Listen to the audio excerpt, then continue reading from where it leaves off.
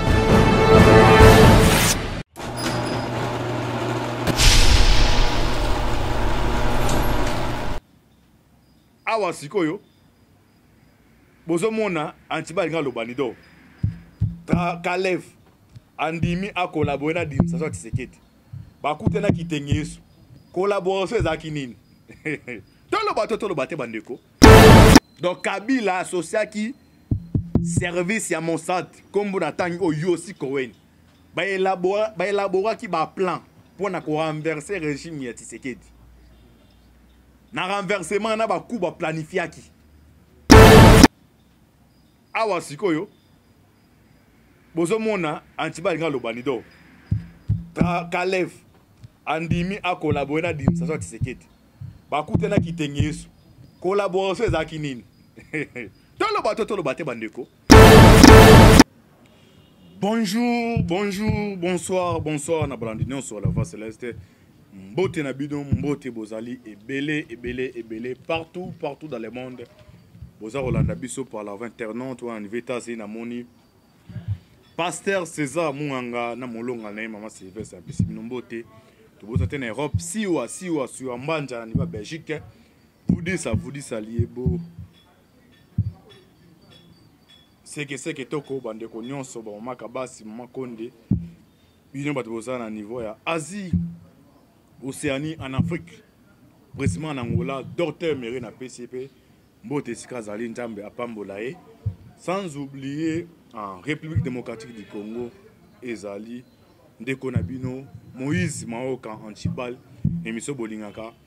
Toloba to toloba te, oyo tosalaka decryptage ya actualité politique. Merci mingi na ndeko John John Moboke bena sima kamera. Merci ndeko ya Alvin Bea, équipe na la voix céleste nde toba toujours. Lola lola eza kofuta sima tokoloba Nzambe ya boye tokozwa ye wapi. Lelo tokosola sujet moko boyeba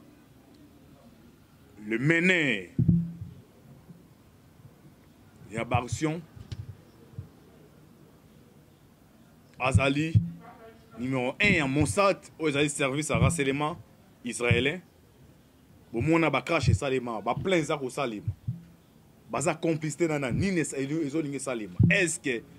2023 aponama ezali maponama ezali te antiba akomi soki kokota na kati ya mozonaki pourkui aponama ezali te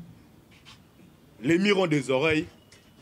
compromis moko ezali oyo bandimi komaintenir rosa malonda antibal awa nde toba a ezala neti aigle antiba alobaka biloko oyo esalema après toloba te toloba te yango toza décryptage awa boyeba na kati ya baconfession religieux divise na kati ya baeglise catholique nini ezali wana nde tokolimbola moke obisosa biso ya bino négociation secrète entre kalev na administration ya tisekedi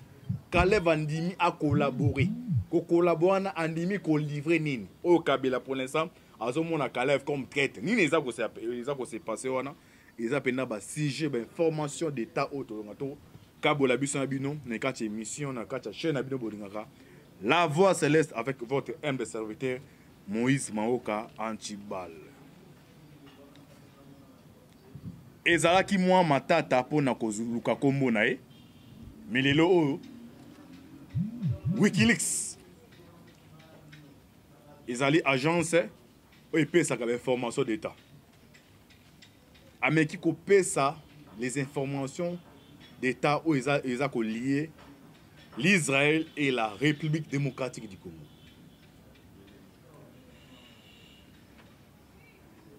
Na niveau Israël eza na service ya renseignement nkombo nango Mossad. aza makasi d'espionnage Durant mandat ya Kabila, Kabila a travailla na yango. Nani a dirigeaka Mossad? Mandat na ye ezo osila na juin. Depuis Tshisekedi azwi pouvoir asali a visité Kinshasa, Congo deux fois. Aye deux fois mais atieli kokutana Tshisekedi te, azo kokutana na Joseph Kabila. après information oyo erefuite tiseke andimi ayamba ye nini ese passe boyoka makambo ya crash boyoki makambo boyokama macoup d'état baplan oyo bande kosalema dernière fois awa nango toyebisa bino eza na mundele moko bakanga ya niveau aéroport na niveau ya luano na lubumbashi zigma alexandre awutaki wapi pont wana eza lie ndenge nini mais awa à travers wikileaks les informations ezali de les mystères cachés eza dévoilé nkombo na ye yosi cohen Yossi Cohen, c'est ça le nom magique. Ah, boko na kosenga émission boza très attentif. Bolinga boyeba Antiba alinga ayebisa bino nini? Yossi Cohen ye nde azali chef ya Mossad, service ya renseignement israélien. Kabila abandaki koyeba makambo bameke bande kosala avant meme ebima na media boye à travers ces messieurs moto arapprocha ye na kabila ezali mese dan getler abokanga ah, bakombo bien na repeta bien ke non na kati église catholique bazoyokana te ye compromis etami bamaintenir osa malonda oyo bato bakufela awa antibala ayebi eloko nanga loba election na cour pa nyonso ejoue wana baza 4 candidat nani akokoma président ya cour awa ah, mpe naosala grosso mono boyeba kalev andimi anégociant administration ya tisekedi deja ekomi deja na banvancement makasi oyo kabila moise ekomi sa aza trahi parce que kalev kaka ozomona kalev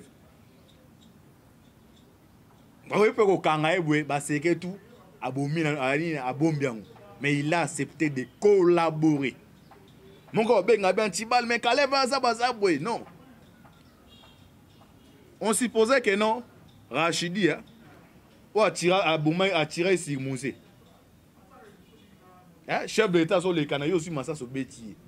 eh, so ozokima babongo no baoza nde bakanga yo babimisa fruit de formation opesa bango ba bulletin de formation nani atindi yo nde ezalaka ndenge awa kalef ezali bon toza na likambo oyo ya yosi cohen batante lekani batante lekani e se passaki ndenge nini mpo atokoma etape tokomi oyo naye kotombe na wikileaks ezalaka na anglais bo boza bandeko boza na niveau états-unis bokoverifie ye moto auta opesa information ke non les états-unis à travers baambassade na ye atya banini mpo na espionne tous les baconversion téléphonique ya président donc epuis ye aliva bainformation d'état wikileaks donc so ozwi yango okokende otraduire yango na français mpo na olimbola alors na tombe na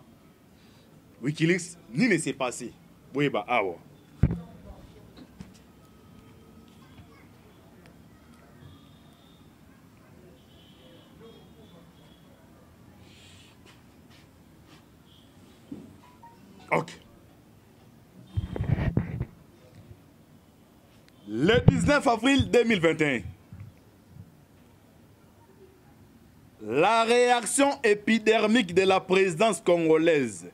le mois dernier aux visites de l'homme d'affaires biélorusse Alexandre Zygma dans le pays. Alexandre Zygma, un homme d'affaires, à Bah été dernièrement okanga niveau aéroport à Koutana joseph kabila lere bakangi ye na présence abandi kolivre bainformation parce que wikileaks azwi makambo oyo donc ere baza kointerroge na service ya présidence de la république ayebisa bango akendaki kokuta na kabila mpo na nini alors wikileaks azwi fruit d'information akombine boyeba awa sikoyo masolo ebetamaki ndenge nini ndenge na loba toujours ce qui nous unit est plus fort que ce qui nous divise bandeko bozala très attentif boyeba awa na émission to oyo bolingaka toloba to tolobaka te ko émission eza lingala tokotanga na poto tolimboli mpe na bandeko to bacomprendre nini eza kose passe awa na rdc la réaction épidermique de la présidence congolaise les mois derniers aux visites de l'homme d'affaires biélorusse des Zigma dans le pays trouve sa source dans un autre épisode reste largement secrète les trois voyages effectués à Kishasa, sa raison apparente par Yossi Cohen, le chef du Mossad, les renseignements intérêts israéliens. Bokanga Kombo bien Yossi Cohen. azali numero 1 ya service ya mossad ya ane ya israélien ezali makasi aye na congo 3 fois aye kosala nini deux fois aye tisekedi eto aza no eto pouvoir mais aye ake, ake, aye comme na kinshasa yango ozomona complicité ezalaki makasi eh? ake akutani na kabila abolanda bandeko boyeba esika tozokendela toloba to toloba te Alors, durant ces 12 jours de détention, awa oyo oh, Alexandre bakangi ake na présence bainterroge 12, 12 jours abandi koloba lobi nini durant ces 12 jours de détention à Kinshasa fin mars l'homme d'affaires biélorusse Alexandre Zigma a été longuement Interrogé sur les liens qu'il a traités avec l'ancien président Joseph Kabila par les fonctionnaires de l'Agence nationale des renseignements congolaise, mais également par les diplomates qui ont pu lui rendre visite. Caleb Mutombe oyo azalaki administrateur ya ane alobi mosala oyo asali mpo na leta jamais akopesa rapport na bato bo bajuge akopesa ba chef de leta alors Biloko Wikileaks apesi awa na ba details est-ce que c'est Caleb vieux moto aza pièce maîtresse ya biloko bandeko politique nde na ba maître fois nzambe apesi moto ya moto capacité na ye soki otali na histoire ya bible eza na ba prophète oyo batangaka mingi te mais aza na don ya kolimbola ndoto songe ya nde mona politique ezali osali osali politologue na campus ata 10 ans mais so bapesi yo osala ba analyse politique okokoka te mais omona motu mwa mosusu omoni bo aza beme nzambe apesi ye don wana ndenge maka politique ezali bandeko bocomprendre awa eloko nini nalingi na livre boyeba esika mboka ezokendela bakangi alexandre aéroport auti okuta na kabila La présence été 12 jours kuna na 12 jours ne wana un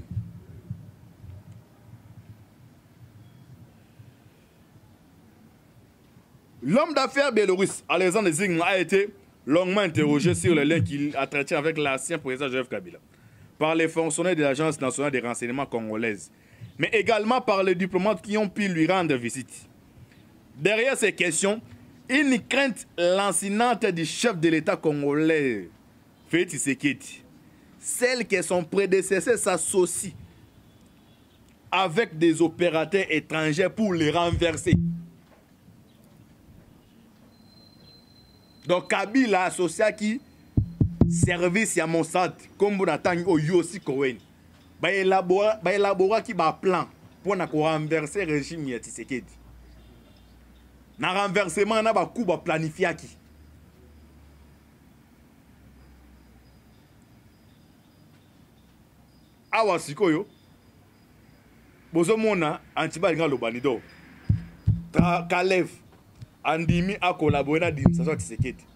bakutana kitenge yesu collaboration ezalaki nini toloba to toloba te bandeko bakangi alexandre abe 12 jours apesi barévélation wikilis azwi alive bainformation boyeba awa sikoyo tokomi wapi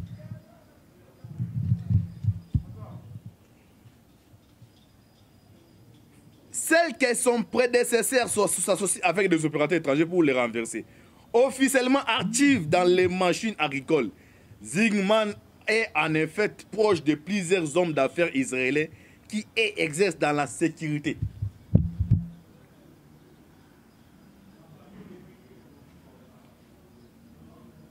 yossi cohen moto amemi epa kabila ezali dan getler nayebisa yo mainte fois le 19 décembre 2016 joseph kabila manda na ye esili babengisi belgique pende boyebaka na relation na ri na relation internationale avant bazwa décision ya korenverse le régime à place moto azwaka décision ya suka dabo ezalaka pays colonisateur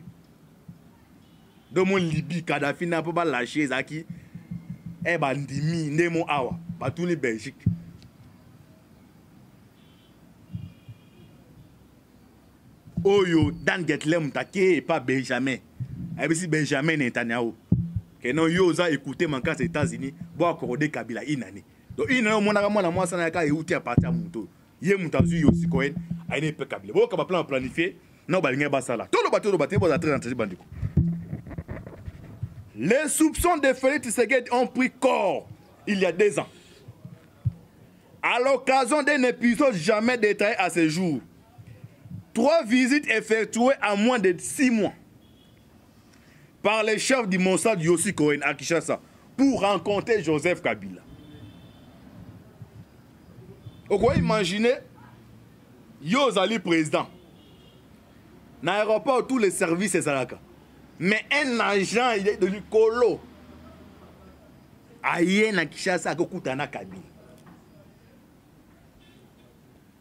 après wana crash ya avion ah, awa bocomprend sikoyo le dessus donc awa naopesa bino eloko elingaki esalema na oyo bapropre esalema alors awa wikilis alivre tout toloba to toloba te nayebi te soki te ekopermettre na kosala yango na deux volet premier épisode na deuxième épisode parce que makambo eza ebele oyo mpenza makambo ya somo Les soupçons de Feu Tshisekedi ont pris corps il y a deux ans, à l'occasion d'un épisode jamais détaillé à ce jour. Trois visites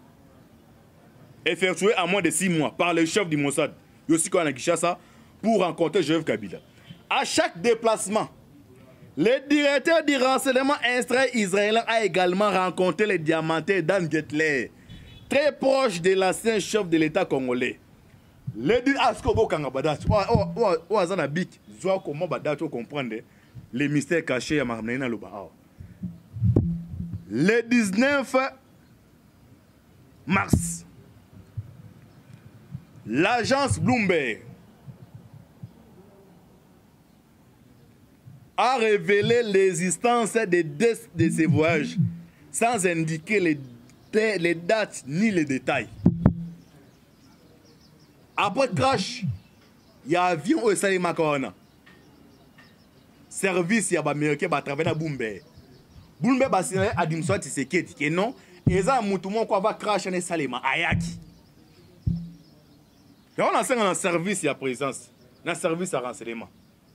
ngai nde baza pese youtube na ngai nde tosala boye youtube afuti me ngai afutaka ngai te na travali na présence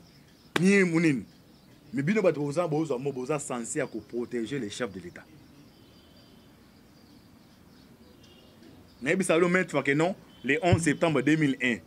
service ya sia bazwa information que non ya un terroriste ah, baye wana nkombo no eyebana ete alinga atake les états-unis baminimisaki yango a un individu nous bazali surpris le 11 septembre banani bel daden a frappé les américains ya ndenge mo awa quand nous on parle les athées oh, ah, les, les histoires de youtube là alors bocomprendre awa ah nini s'est passé bokanga date le 19 mars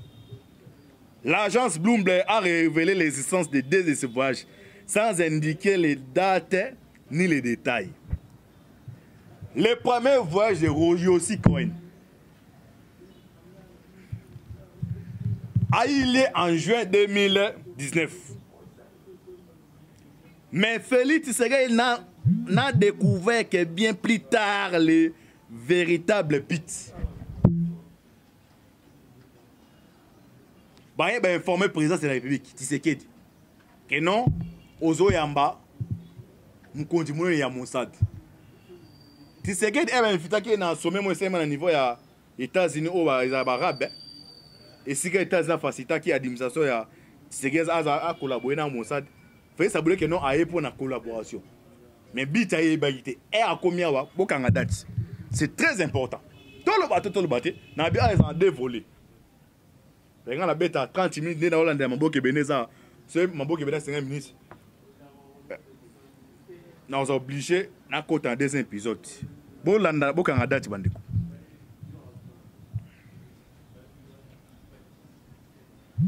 le premier voyage de yossi cohen a eu lieu en juin 2019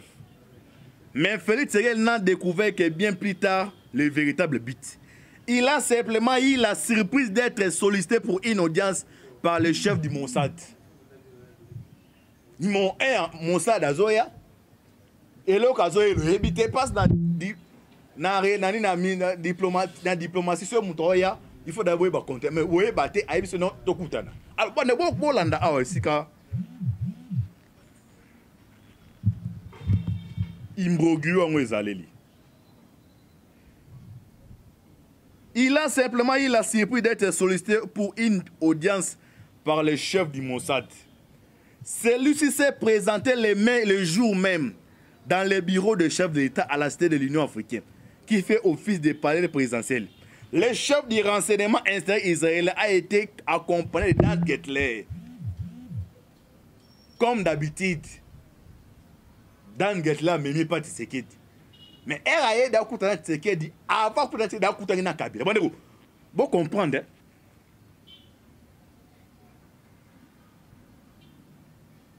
ere nayebisaka bino bamedfake non kabila force ne ezali eh? ezali na trois force aya force sportif force militaire na finance ok oyo eza important nde mbongo so oza na mbongo kozwa mwa otambola na kara chere obotola basa bato oyo nyonso olinga ozala yango ndenge mpo ozala na pouvoir nyonso ndenge politike ezali so otali badeshe wana baofisi na bango eza bamilliardaire meme lebel na den la azali na mbongo ebele milliardaire vrai lelo etika na kabila yango wana pete yo oleka na televizio oyemaka politike te moni kabila esili mpo na non lemesa question atikeli kote ya finance aza na mbongo aza na bainfluence ana eza nanu kaka alors s'attendant à être entretenu des projets de coopération ultra secrète voire des missions clandestines en cours dans son pays Les présents congolais se trouvaient quelque peu perplexes quand la discussion avec Yossi Cohen est restée extrêmement générale. Le directeur du Mossad a cependant bien pris soin de mettre Gatler, en avant. Les diamantaires avaient été frappés un an plus tôt des sanctions par les états américains et traités avec la pluie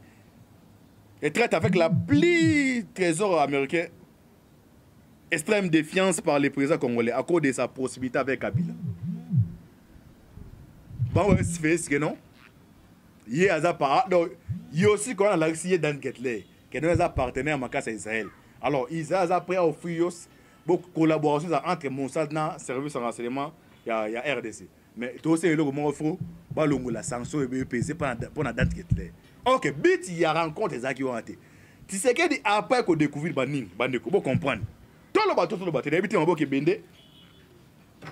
je m'en excuse ana mela mai atala minute après rencontre na bango nini s'est passé rencontre surprise ce n'est que quatre mois plus tard que Félix Tshisekedi a compris que ce n'était pas lui que les chefs du Mossad étaient venus voir ce jour.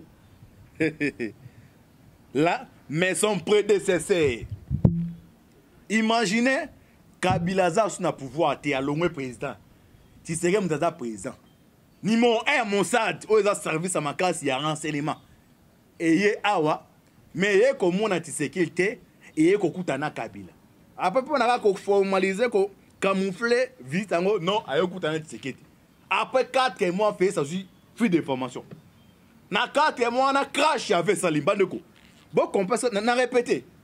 Donc Antibala, ah, Antibala s'est déchaîné. Na répété 2023 élection eza te. Je dis des eh dans une formation si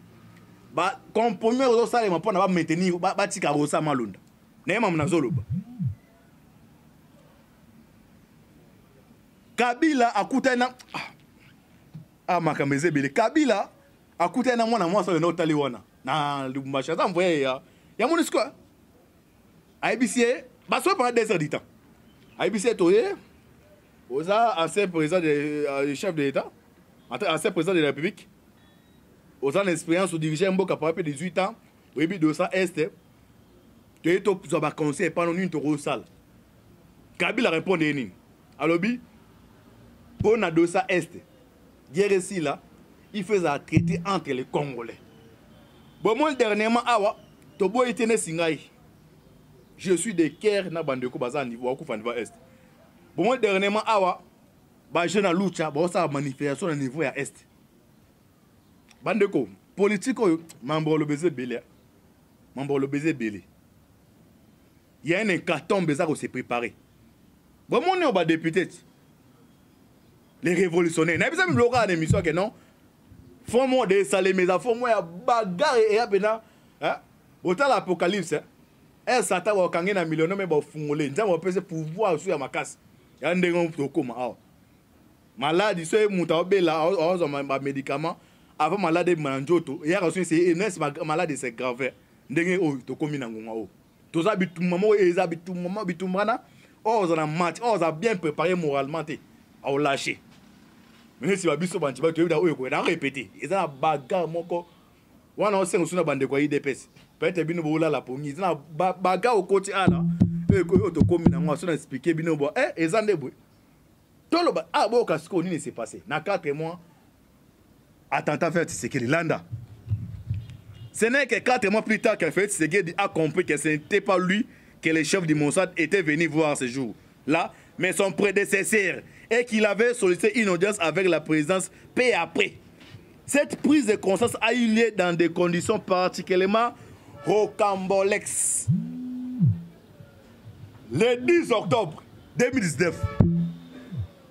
wana wana premier épisode do suka awa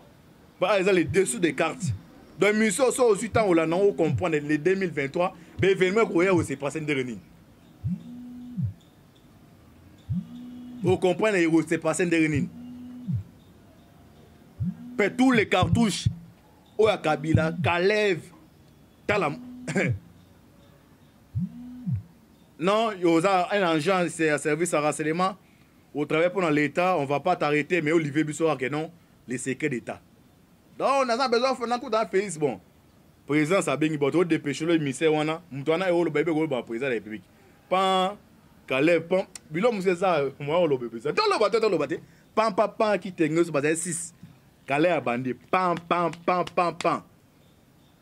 kabila azwi fou de formation que non caleb il est tenté de négocier tala bandeko oyo oh, aza politicien comprendre émission ah, nani naloba nini debite so naa deja moboke asine minute nazo oblige ostope tokuta deuxième épisode mais naloba mpo ya nsuka Le 10 octobre 2019, atterrissage à Kinshasa après un séjour de 48 heures à Goma. La Tonov qui ramenait son véhicule blindé s'est écrasé une heure plus tard en Sankourou. Vous comprenez ndenge étoile d'araignée betamiti aye akutana Kabila akamoni Tshisekedi a voyagé fait azwi flux d'information que non moto oyo akokutana oyo akutana Kabila avant crash avait betami apres wana aye lisusu le mesakeson okanga nkombo na ye yosi cohen wana sikoyo a wikilis alivre sikoyo mabe evenema do ndenge baba na lopoto les événements à venir oyo eza koya na 2023 oyo eza kose prépare sikoyo donc eh, bataille moko yango nasenga bakongole boza libanda mboka basala nzambe boprie makasi mpo na kongo awa eza premier épisode nakozonga boto continue boyeba sikoyo les événements venir oyo wikilis alivre ya yosi corona aza numero 1 ya mosad nini aza kose prépare toloba to toloba te nzambe apambola bino boprie makasi mpo na rds boprie makasi mpo na biso bozomona ye tozobimisa ba révélation ya boye bandeko mosusu toyede bango mpo na bazala informe bamosusu mpe baolinga te baosepela te soki so otali mpe bato baosepela te baza ebele otala boye 30 000 vie 50 000 vie me na 50 000 vie wana e mosusu 45 000 be 48 000 nde balingeli obulu e mosusu asengisa basepe na émission bitumba eza makasi boprie makasi mpo na rdc awa na stope awa naza oblige okata na kozonga par exemple sikoyo suite efe nango ekosuka ndenge nini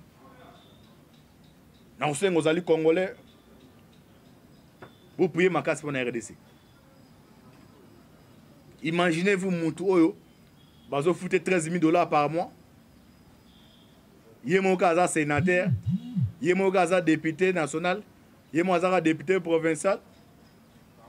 mais comme aza na gouvernement atabi ke non pacte niet et puis abase permettre kobenga ko ba les révolutionnaires donc ah, il est baza ko révolutionner mpo na évolution ya mboka allez-y comprendre de la sorcellerie est ce que les révolutionnaires wana ce sont des rwandais mpe awa ah, nyonso ezalaka rwanda rwanda oyo oh, oyo oh, badepute wana bien, bien cravate eh? bien veste nous les révolutionnaires est ce que moto asala degare eza paul kagame mpo comprendre ke non malgré infiltration ya libanda ezali mais nous d'abord biso moko bacongolais bandoki ya kongo eza na biso moko l'homme congolais d'abord ye moko ndoki ya liboso ye wana nzambe azala na bino c'était votre humble serviteur moïse mao kanchibal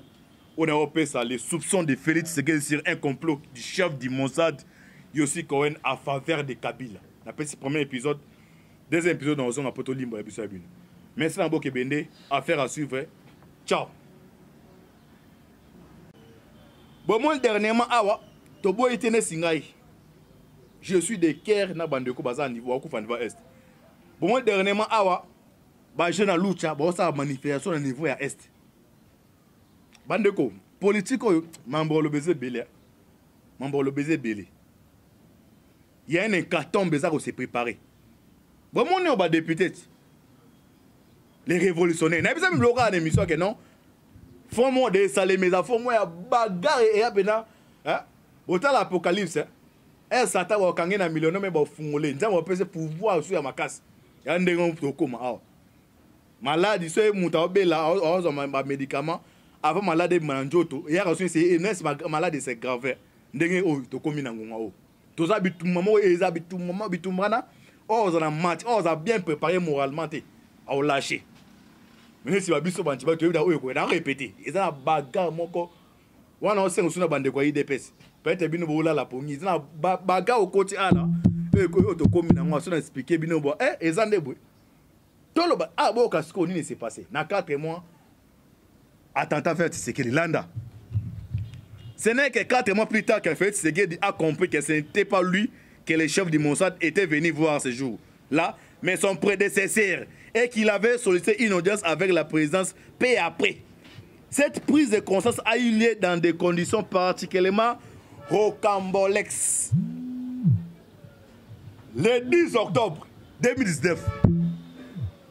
wana wana premier épisode do suka awa ba eza les dessous des cartes donc mission so ozui ntango olanda ngo comprendre le 2023 ba événement ekoya ose passe ndenge nini ocomprendre ekose passe ndenge nini mpe tous les cartouches oyo ya kabila kaleve tala non oza un agent ya service ya renseignement au travail pour l'État, on va pas t'arrêter, mais Olivier Bissora que non, les secrets d'État. Donc, naza besoin fana tout à Félix bon. Présence à Bengi Boto, dépêche le ministère wana, mutwana eolo bébé ko ba président de la République. Pan Caleb pan bilo monsieur ça moi on lobe ça. Tolo bato tolo bato. Pan pan pan qui tengue sur bazay 6. Caleb bandi pan pan pan pan pan. kabila azwi fou de formation que non caleb il est tenté de négocier tala bandeko oyo oh, aza politicien comprendre émission ah, nani naloba nini debite so naa deja moboke asine minute nazo oblige ostope tokuta deuxième épisode mais naloba mpo ya nsuka Le 10 octobre 2019, atterrissage à Kinshasa après un séjour de 48 heures à Goma. La Tonov qui ramenait son véhicule blindé s'est écrasé une heure plus tard en Sankourou. Vous comprenez ndenge étoile d'araignée betamiti aye akutana Kabila akamoni Tshisekedi a voyagé fait azwi flux d'information que non moto oyo akokutana akutana Kabila avant crash avait betami apres wana aye lisusu le mesakeson okanga nkombo na ye yosi cohen wana sikoyo a wikilis alivre sikoyo mabe evenema do ndenge baba na lopoto les événements à venir oyo eza koya na 2023 oyo eza kose prépare sikoyo donc eh, bataille moko yango nasenga bakongole boza libanda mboka basala nzambe boprie makasi mpo na kongo awa eza premier épisode nakozonga boto continue boyeba sikoyo les événements venir oyo wikilis alivre ya yosi corona aza numero 1 ya mosad nini aza kose prépare toloba to toloba te nzambe apambola bino boprie makasi mpo na rds boprie makasi mpo na biso bozomona ye tozobimisa ba révélation ya boye bandeko mosusu toyede bango mpo na bazala informe bamosusu mpe baolinga te baosepela te soki so otali mpe bato baosepela te baza ebele otala boye 30 000 vie 50 000 vie me na 50 000 vie wana e mosusu 45 000 be 48 000 nde balingeli obulu e mosusu asengisa basepe na émission bitumba eza makasi boprie makasi mpo na rdc awa na stope awa naza oblige okata na kozonga pada biso yango sikoyo suite efe nango ekosuka ndenge nini nakosenga ozali congolais bopriye makasi mpo na rdc imaginez vous mutu oyo bazofute 13 000 dollars par mois ye moko aza sénateur ye moko aza député national ye moko azaka député provincial mais comme aza na gouvernement atabi ke non pacte niet et puis abase permettre kobenga ko ba les révolutionnaires donc il est baza ko révolutionner mpo na évolution ya mboka allez-y comprendre de la sorcellerie est ce que les révolutionnaires wana ce sont des rwandais mpe awa ah, nyonso ezalaka rwanda rwanda oyo oh, oyo oh, badepute wana bien, bien cravate eh? bien veste nous les révolutionnaires Est-ce que Mdosa Degareza Paul Kagame pour comprendre que non, malgré infiltration, il y a Libanais, mais nous d'abord, biso ba Congolais, ba ndoki, ya Congolais, ba biso moko. L'homme Congolais d'abord, il ndoki, ya liboso, yewana. Nzamba Zanabino, c'était votre humble serviteur Moïse Mao Kanchibal. On a opé ça, les soupçons de Félix Tshisekedi sur un complot du chef du Mossad, Yossi Cohen, à faveur de Kabila. Après ce premier épisode, deuxième épisode na ozonga poto limbo ya biso ya bino merci na boke bende affaire à suivre ciao